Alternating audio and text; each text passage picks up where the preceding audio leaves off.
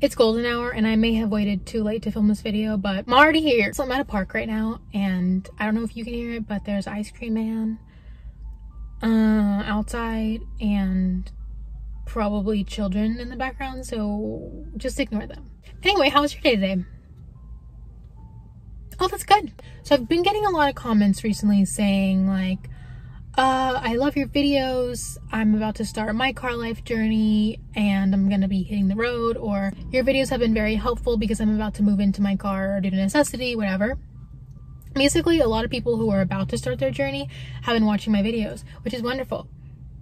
And I thought, why don't I share my knowledge of being a beginner in car life with you so that, you know, you can use it. So I'm going to list out for you five things that you should know for beginning car life. Number one, you have to have a good bed setup. Sleep affects so many aspects of our lives, mentally, physically, emotionally. Basically, if you're getting bad sleep, you're gonna have a bad life. So I've seen some people who live in their car, they just kind of curl up in the back seat and I'm like, how? I think that that would be very uncomfortable as a full grown adult, but to each his own. All that I would suggest is that you have a comfy bed setup. Now, I'm not talking about Serta mattress, zero gravity comes with remote control bed setup, but you know, be able to spread your legs out and at least roll over. I think that that's a good place to start. I would suggest either you do what I did and take your seats out of your car, or if you can't do that, um, get a car with seats that can be folded down and put some type of platform over that and just sleep like that. Uh, even if it's just, you know, a sleeping mat and a sleeping bag, that is way better than sleeping in, I think, your front seat or your back seat all balled up. I just can't imagine that that's gonna work long term. If you don't have a good sleeping setup, you're gonna be over car life in a hurry. Like first night, you're gonna be like, I'm never doing this again. And don't let that be what prevents you from living in your car. Make sure it's something substantial, like somebody tried to break in, you know? Don't give up easy. The second piece of advice that I would give you is to have something to cover your window. Now, there are many people who just raw dog the outside light looks looky loose. I don't know how you do that. I am anxious sometimes sleeping in places even with my window covers. So without, yeah, literally couldn't imagine that. When I first started, I just ordered a roll of Reflectix off of Amazon and then I traced my windows and I cut them to fit and I glued some black felt on and bam, I stuck them in my windows. There are tons of tutorials on this on YouTube that you can look up. And then it just became kind of an inconvenience to store them and stuff. So I upgraded to WeatherTech Reflectix. And they come all convenient like this. And I'm really happy. It is an investment though. I They were over a $100. I think yeah, they're like 120 150 something like that. But if you're actually going to be living in your car full time, there are certain things that you want to invest in that are just going to make your life easier and custom made window covers are one of those things. You just need something to cover your windows. I don't think that you should just, even if you have really dark tint, I wouldn't sleep with no, nothing covering your windows because number one, it's illegal to sleep in your car in most places. And number two, I just, yeah, I don't think you you really don't want people just be looking in your car seeing you asleep. I don't know how that wouldn't disturb your peace. But anyway, some people do it. Okay, to each his own, whatever. I would not suggest you do that. I suggest that you get something to cover your windows. Number three, power. You have to get something to power your devices while living in your car. We are in the 21st century. Everyone has electronics. You probably have multiple electronics charging your electronics with a USB cord while you're driving isn't gonna cut it. Trust me, I tried this. My first ever car camping trip, I charged my phone, I parked, was gonna camp for a few days. The second night, my phone was dead. I was like, oh shit, what do I do now? And you know what I did? I had to take a drive just to charge my phone. And it was really annoying. So, as you all know, I have my beautiful little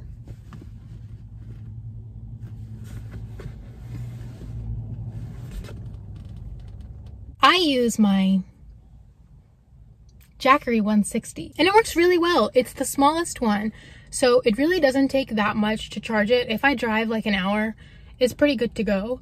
And I don't have a solar panel, but I heard that the smallest solar panel will charge it up pretty fast. So that's an option for you too. But yeah, um, living in a car, it's super small.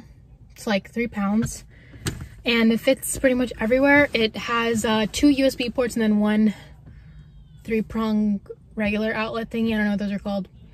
Anyway, it powers everything that I need for a really long time before I have to charge it. So I would suggest something like that. But um, I suppose you could also do those small little phone power banks that use a USB cord for. If you're just going to be using your phone, I guess that's fine. But I think that that's really inconvenient and long term is not really going to work, especially if you want to power larger devices. So I would suggest something like either a small Jackery. I think Goal Zero makes a small one too. Some type of power bank to power your devices. Number four, I suggest that you get a gym membership. Not to work out. I mean, if you want to work out, that's fine. Actually, that's good. You should work out. If you live in your car, going to the gym is probably going to do loads for your sanity. I don't do that, but you guys should. Do as I say, not as I do. I suggest getting a gym membership because showers. Since we're in a panoramic, I'm not sure how the gym membership shower thing is working out for people. Last summer, I tried to get a gym membership and I got one because the gyms were open, but then I went to take a shower and the showers were closed. And I was really upset about just spending $20 at Planet Fitness for a membership when I couldn't use the showers. That's the only reason why I got the membership. Another good thing that comes with a gym membership is Wi-Fi. So you can uh, work on your computer or just browse the web, game, whatever, from the parking lot. And that's another perk of a gym membership. Look at all these perks. Free uh, pizzeria situation, Planet Fitness and 24 hour fitness, all that. They were 24 hours. You could park in their parking lots and just sleep there. So you had a place to shower, a place to use Wi-Fi, and you could sleep there for the night. This is like golden ticket of car living. Again, I'm not sure what the situation is right now. I would suggest long-term car living, get a gym membership. Number five, last but not least, you have to find places to sleep. Safe spaces to sleep, I might add.